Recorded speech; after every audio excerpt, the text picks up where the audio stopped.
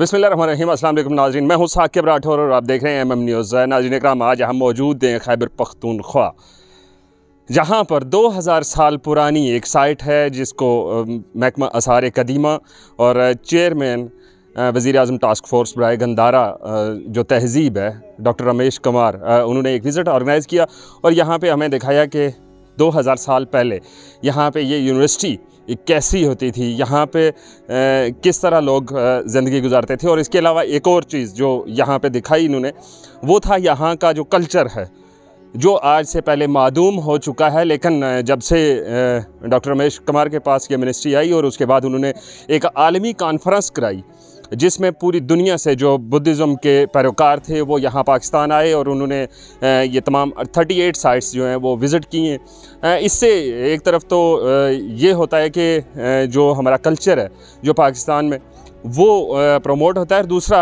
यहाँ की जो तहज़ीब, जो गंदारा तहज़ीब है, उससे लोगों को आगाह किया जाता है कि वो उस वक्त कैसी थी। ये शायद हमारे लिए कोई इतनी अचंभे की बात ना हो, क्योंकि हम यहाँ के मकामी हैं, लेकिन पूरी दुनिया से जो बुद्धिज़्म के मानने वाले हैं, वो जब पाकिस्तान आते हैं और आने के बाद वो ये साइट्स देखते हैं, उसके बाद क्योंकि वो उनकी ये मजहबी एक साइट्स हैं यहाँ पर बड़े बहुत बड़े बड़े बुत भी यहाँ पर मौजूद हैं, जिनको बुद्धा कहा जाता है। और इसके अलावा ये एक जो फ़न तमीर जो आप देख रहे हैं ये डबल स्टोरी एक बिल्डिंग हुआ करती थी, जिसका ये सहन था। यहाँ पे किचन भी उस वक्त मौजूद था। यहाँ पे दिगर जो घर के अंदर की जो ज़रूरियात होती हैं असम्बली हाल तक यहाँ पे मौजूद था। वॉशरूम यहाँ पे मौजूद थे। और ये तमाम चीज़ें आप देख रहे होंगे कैमराज जो आपकी स्क्रीन पर इस वक्त चल रही हैं। ये तमाम वो चीज़ें थी जो यहाँ पे हमें दिखाई गई जिससे पाकिस्तान के अंदर रिलीजियस टूरिज़म को बहुत फ़रोग मिलने का इम्कान है। अब चलते हैं हम दूसरी जानब, जो दूसरी जो जगह हैं, वो आप, वो भी आपको दिखाते हैं, जो यहाँ का पूरा एक इन्वायरमेंट है, वो भी दिखाते हैं, और उसके बाद फिर आपसे मिलते हैं।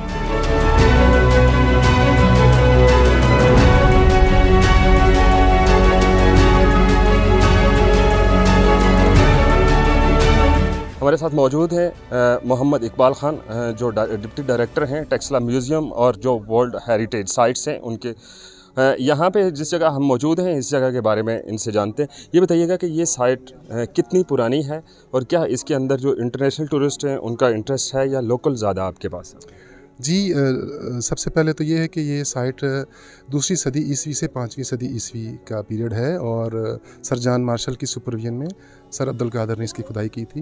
उन्नीस सौ बारह में खुदाई ग्यारह बारह में शुरू की और चौंतीस तक सर सर जान मार्शल जो हैं, दूसरे डायरेक्टर जनरल थे आर्कोलॉजिकल सर्वे ऑफ़ इंडिया के। तो ये जो साइट है, या आप यूँ समझे, मोनेस्ट्री और stupa खानकार monastery, one of the best excavation इसलिए है कि पूरी की पूरी मोनेस्ट्री बड़ी वेल इंटैक्ट और प्रिजर्व हालत में है। फिर डिपार्टमेंट, इसकी कंजर्वेशन भी हुई और अभी भी हम कर रहे हैं। अभी इस साल भी हमने इसका मनसूबा शुरू किया हुआ है। नेक्स्ट ईयर से शुरू हो जाएगा, एस्टिमेट्स बन रहे हैं। तो मोनेस्ट्री क्या है? तालाब आपके सामने नज़र आ रहा है। लोग किस तरह नहाते थे किस तरह रहते थे उनके सेल्स हैं सत्ताईस कमरे हैं। फिर वो किचन है इस तरफ़ और उनका असम्बली हाल है दीगर सारे कमरे हैं। तो ये लोकल टूरिस्ट इसमें कितना इन्वॉल्व है? लोकल टूरिस्ट भी आता है जी ज़्यादातर बुद्धिस्ट कंट्रीज़ के फॉरनर्स आते हैं। बहुत शुक्रिया।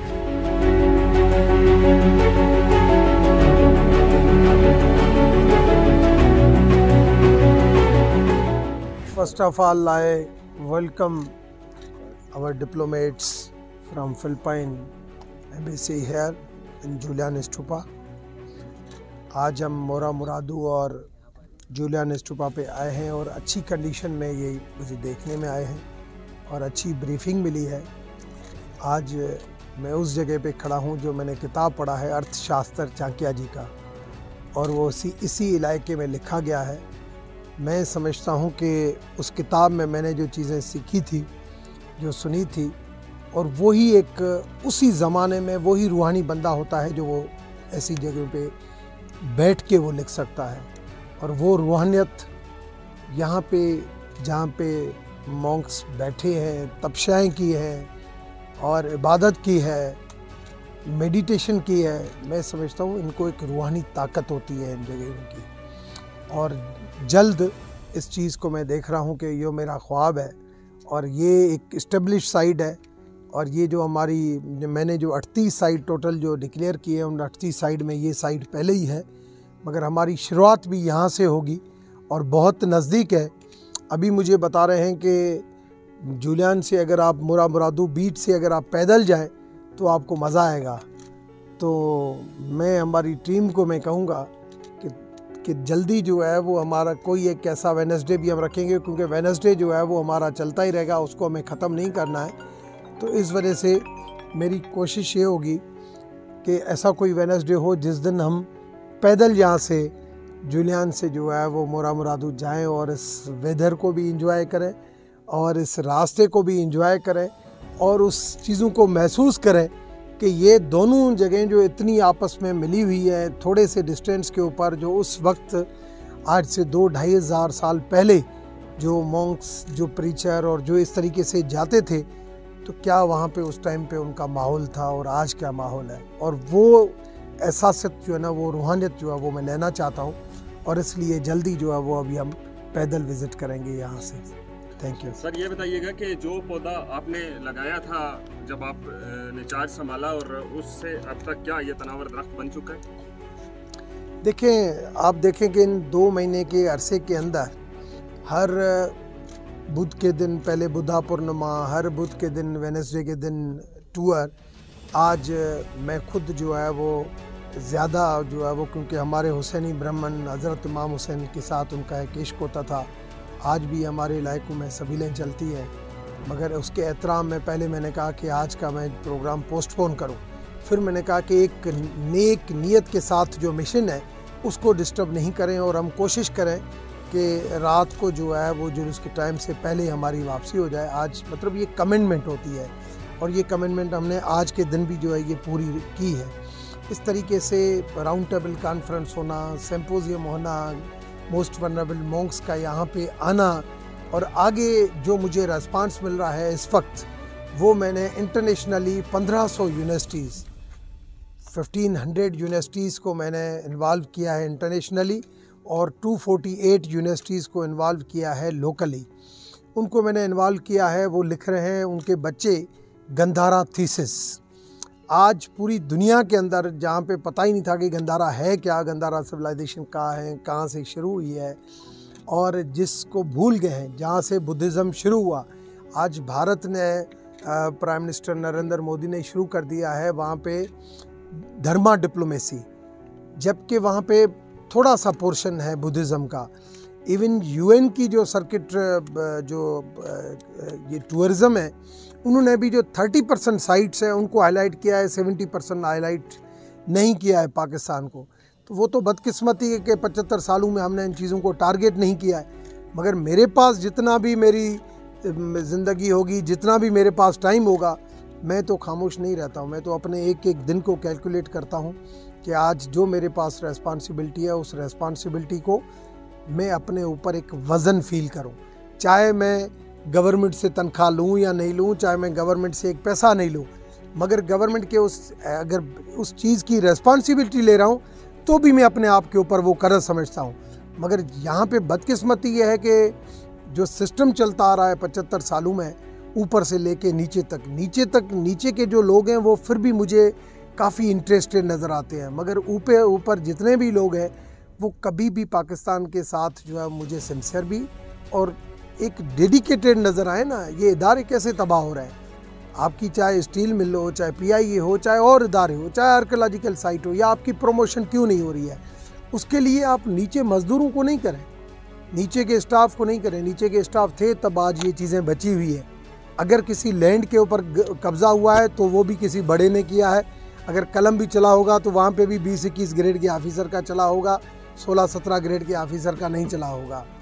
यहाँ पे अगर कोई मेंटेनेंस है तो भी उस सत्रह अठारह ग्रेड या उसके नीचे वाले की जो है वो मेहनत होगी। बीस ग्रेड वाला यहाँ पे आया भी नहीं होगा, वो कहेगा कि मेरे एलवी के जूते भी जो है वो ख़राब होंगे। उनका फोकस क्योंकि इस वक्त जब मैंने मिशंस को इन्वॉल्व किया, सारी मिशंस को तो उनको भी पता नहीं था। हकीकत में ये फॉरेन मिशनरी का काम है, ये सारे इन चीज़ों के ऊपर फोकस बहरहाल, जल्द आप तब्दीली देखेंगे। और मैंने आपको कहा है जो मैंने परसों एक ट्वीट किया था कि आपको नेक्स्ट वीक जो है वो मुहर्रम ख़त्म हो जाए और आपको एक सरप्राइज़ देंगे। और उस सरप्राइज़ के लिए मैंने एक प्रपोज़ल पुटअप कर दिया है और मेरे ख्याल में मेरी नीयत साफ़ होती है। तो इस वजह से अभी जब ऊपर आ रहे थे तो कहने लगे कि भाई मैंने कहा हम नीयत साफ़ के साथ जाते हैं तो खुदा खुद हमारे लिए जुड़ पैदा कर देता है। तो इस वजह से हम नीयत साफ़ के साथ जा रहे हैं। तो मेरे ख्याल में जो आगे भी हमारा ख्वाब है, इतना ख्वाब पूरा हुआ है तो आगे भी ये ख्वाब पूरा होगा।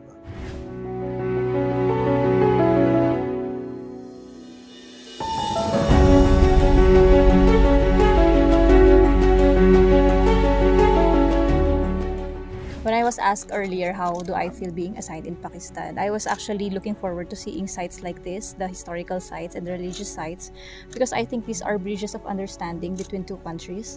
And people like us going to sites like this in Pakistan helps us understand the Pakistani people more and what they intend to do as a, as a set of people and as a nation. So I'm actually encouraged to, to be here again and I hope to see more of these sites in Pakistan in the future. Thank you जी तो doctor Ramesh Kumar की बात भी आपने सुनी और उसके बाद जो ये तमाम सीन था, वो भी आपने देखा। डॉक्टर रमेश कुमार का ये कहना था कि मेरा जो मकसद है, वो ये है कि पाकिस्तान के अंदर जो टूरिज़्म है, रिलीजियस टूरिज़्म है, उसको फ़रोग दिया जाए और उसके अलावा जो गंदारा तहजीब है, उसके बारे में लोगों को आगाह किया जाए।